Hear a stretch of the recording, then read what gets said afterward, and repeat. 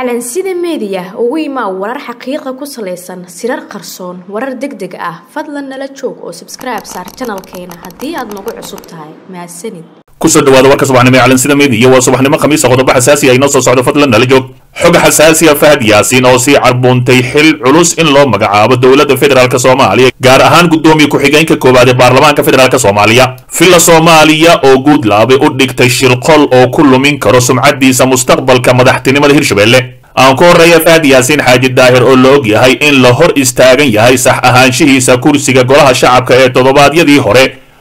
uu ku soo baxay ayaa hadda waxa uu sii carbuuntay xil uu ku qaban karo dowladda cusub. Kursiga sumadiisu yahay eber siddeetan lix uu ku soo baxay fahad yaasiin ayaa la diiday oo kor loo hayaa natiijadiisa la shaaciyey balse isaga ayaa ku adkaysanaya inuu si sharci ahay ku soo guulaystay beeshiisana ay taageersan tahay. Wasiirka gargaarka iyo maaraynta masiibooyinka xukuumadda soomaaliya khadiijo maxamed diiriye ayaa si aan gambasho lahayn u sii sheegtay in guddoomiye ku-xigeenka koowaad golaha shacabka baarlamaanka kow iyo tobanaad uu yahay fahad yaasiin xaaji daahir. Haddaba barteeda facebooka ayaa waxa ay ku soo qortay guddoomiye ku-xigeenka koowaad ay u dhiman tahay dhaarta golaha shacabka baarlamaanka soomaaliya xildhibaan fahad daahir axmed ayay ku soo qortay khadiijo maxamed diiriye. Dad badan ayaa shaki ka qaba arrintaani inay dhici karto balse waxay khadiijo hadalkeeda sii xoojinaysaa sida ay nabad iyo nolol u doonayso. Xasaanad inay uga safto shakhsiyaadka ay isleedahay culays ayaa wajahaya tani ayaa loo fasiran karaa in awood ahaan guddoomiyaha baarlamaanka ay la wareegi doonaan nabad iyo nolol marka loo eego mursal fahad iyo mahad cawad haddii aysan xisaabta sida la isugu dhuftay ay wax iska beddelin. Haddii sidaasi ay dhacdo waa mid iska cad in farmaajo xukunka dalka lagu soo celin doono maadaama aqlabiyadda baarlamaanka ay saaxiibadiisa ku fadhiisanayaan. Shukaamin codka mudanayaasha golaha shacabkana ay olole uga dhex samayn karaan si kastaba ha ahaatee dilaaga qosla ayaa iminka loo sii saadaalinaya guddoomiye ku-xigeenka koowaad ee baarlamaanka federaalk soomaaliya. Waa booskii master muuday laga tuuray islamarkaasina fahad ayaa halkaasi ku gambanaya laakiin ummadda soomaaliyeed ilaahay waxay ka baryayaan in uusan u sahlin kursigaasi maadaama ummadda soomaaliyeed dembiyo waaweyn uu ka galay. Dilaaga qosla fahad yaasiin dhinaca kale madaxweynaha hirshabelle ayaa wajahaya cadaadis xooggan oo kaga imaanaya madaxtooyada soomaaliya oo ku aadan inuusan liiska musharaxiinta xildhibaan ku soo darin. Xildhibaan aamine maxamed cabdi kursiga hob boqol soddon iyo shan oo ay ku fadhiso aamine loona yaqaano kursiga cadaaladda ayaa ka mid ahay kow iyo tobanka kursi oo guddiga doorashada hirshabelle ay shaaciyeen kuwaasi oo lagu dooran doono magaalada beledweyne hase yeeshee sida ay ogaatay calansida meediya waxaa jira cabsi xooggan oo ku aadan in xildhibaan aamine ay kursigaasi weyn doonto iyada oo villa soomaaliya ay ka go'an tahay inaysan dib u soo laaban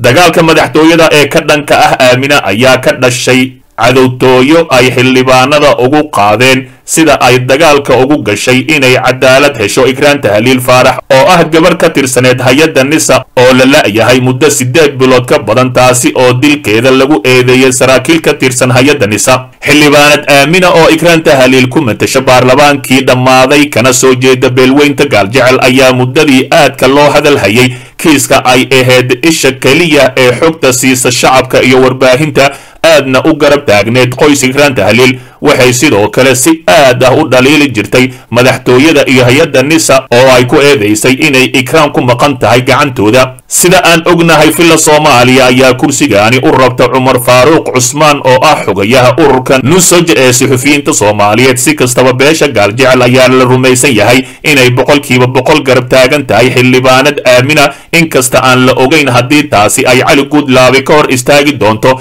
inuu u hogaansamo rabitaanka villa soomaaliya xildhibaano aqoon-yahano iyo siyaasiyiin badan ayaa ka digay in cali guudlaabe uu sumcadiisa ku dhaawici karo haddii aanu liiska ku soo darin xildhibaanad aamina oo taageero badan ka haysata shacabka soomaaliyeed iyo beelweynta gaaljecel guudlaabe wuxuu wajahayaa tijaabooyin la marinayo shakhsiyadiisa iyo hogaamintiisa ceeb weyn ayuu la kulmi doonaa haddii uu villa soomaaliya ka aqbalo in la tuuro xildhibaanad aamina ayuu yidhi xildhibaan la hadlayey warbaahinta xildhibaanad aamina oo haysata taageerada beesheeda keliya balse waxaa raacsan shacabka soomaaliyeed oo dhan ayuu yidhi guudlaabe wuxuu sidoo kale qayb ka noqon doonaa cadaalad darrada lagu sameeyey qoyska ikraan tahliil haddii uu isugu daro in gabadhooda la dilay sidoo kalena la tuuro xildhibaankii garabka u ahayd islamarkaasina xuquuqdeeda soo dhicin lahayd. Su'aashu waxay tahay guudlaabe ma ku sarrifan doonaa sumcaddiisa raalli ahaanshaha filla soomaaliya dhoohane maxamed cabdilaahi farmaajo iyo dilaaga qosla fahad yaasiin xaaji daahir.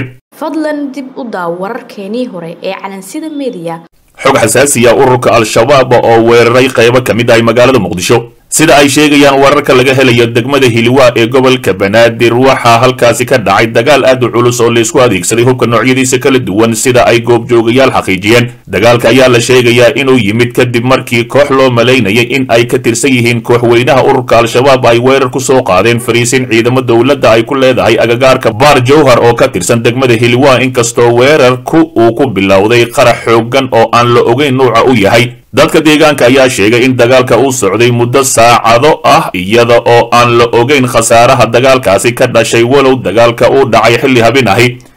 weli wax war ahi kama soo bixin maamulka degmada iyo laamaha ammaanka oo ku aadan dagaalka ka dhacay degmada hiliwaa iyadoo muddooyinkii dambe ay degmooyinka muqdisho ka dhacayeen falal amni darro oo ay mas'uuliyadeeda inta badan sheegtaan ururka al-shabaab. Kooxda villa soomaaliya ugu horreeya dhoohane maxamed cabdilaahi farmaajo ayaa gebi ahaanba dayacay amniga caasimada magaalada muqdisho islamarkaasina isbuucyadii la soo dhaafay ayaa ururka al-shabaab degmooyinka idil waxa ay ku beegsanayeen qaraxyo iyo weeraro toos ahi tan ayaa ka dhigan in ururka al-shabaab ay gebi ahaanba magaalada muqdisho wax kasta ay ka samayn karaan meel kasta ay weerari karaan qof kastana ay dili karaan. Dhinaca kale muxuu goodax barre ka yidhi doorashada beledweyne ee u tagay halkaasi inuu ku soo guulaysto kursigiisii hore. Wasiirkii hore waxbarashada soomaaliya mudane cabdulaahi goodax barre oo haatan ah musharax mar kale u tartamaya golaha shacabka ayaa gaaray beledweyne isaga oo ka hadlay doorashada ka dhacaysa gudaha magaaladaasi goodax barre oo u sharaxan kursiga tirsigiisu yahay hob eber lixdan iyo saddex ayaa si guud u dhaliilay hanaanka ay ku socdaan doorashooyinka dalka. Wasiirkii hore waxbarashada ayaa shaaca ka qaaday in doorasho wax la yidhaahdo aysan ka socon dalka soomaaliya balse ay tahay waxa socda xulasho sida uu hadalka u dhigay sidoo kale wuxuu intaasi ku daray in markii hore uu ku talagalka ahaa in la qabto doorasho xalaal ahi oo ay si saxan uga qaybgalayaan ergooyinka balse aysan dhicin. Doorashadan waddanka ka dhacaysa dhammaantiin waad la socotaan wax doorasho la yidhaahdo oo qurux. Doorasho lex kama muuqato. Ku talagalku wuxuu ahaa doorasho xalaal ahi ergooyinka soo doortaan ayuu yidhi wasiirkii hore waxbarashada. Waxaa kale uu hadalkiisa sii raaciyey aniga waxaan idhaahdaa doorasho maahine waa xulitaan ee xulitaan keliya maahine waxaa la socdo xaraash ayuu yidhi. Dhinaca kale wuxuu soo hadal qaaday doorashada ka dhacaysa degmada beledweyne ee uu isagu u tartamayo wuxuuna tilmaamay inay ku rajo weyn yihiin inay tusaale u noqdaan. Waddanka intiisa kale ayna beeshu gacanteeda ku soo xulato xildhibaanadii matali lahaa. Si kastaba cabdulaahi goodax barre oo marar kala duwan si adag uga hadlay arrinta beledweyne kana hor yimid ciidamadii la geeyey magaaladaasi ayaa hadda wajahaya loolan xooggan oo ku aadan kursiga uu u tartamayo kaas oo la shaaciyay jadwalkiisa. Si kastaba ha ahaatee cabdulaahi goodax barre oo markii hore taageero u ahaa dhoohane maxamed cabdilaahi farmaajo ayaa wasiirnimadii laga qaaday islamarkaasina mucaarad xooggan ayuu ku noqday. Dhinaca kale maamulka hirshabeelle oo shaaciyay jadwalka doorashada kow iyo toban kursi. Guddiga hirgelinta doorashooyinka heer dowlad goboleed ee maamulka hirshabeelle ayaa shaaciyay jadwalka doorashada kow iyo toban kursi ee ugu dambaysa kuraasta deegaan doorashadoodu tahay magaalada beledweyne qoraal ka soo baxay guddiga ayaa waxaa lagu sheegay in shanta ilaa lixda bishaani ay soo gudbin doonaan ergada lana hubin doono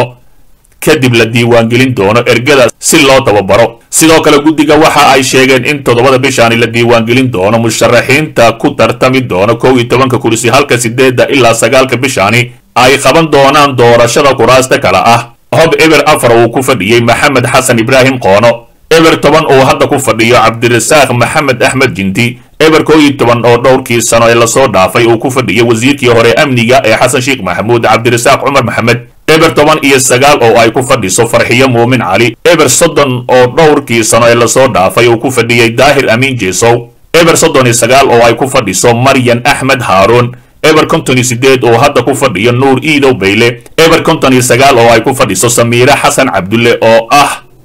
xaaska guddoomiyihii hore baarlamaanka master mursal. Eber lixdan iyo saddex uu ku fadhiyo wasiirkii hore waxbarashada cabdulaahi goodax barre eber lixdan iyo lix uu ku fadhiyo cumar cismaan waasuge boqol soddon iyo shan oo dhowrkii sano ee la soo dhaafay ay ku fadhisay aamino maxamed cabdi. Dhegaystow ogow haddaadan xalka qayb ka noqon waxaad qayb ka tahay dhibaatada dalka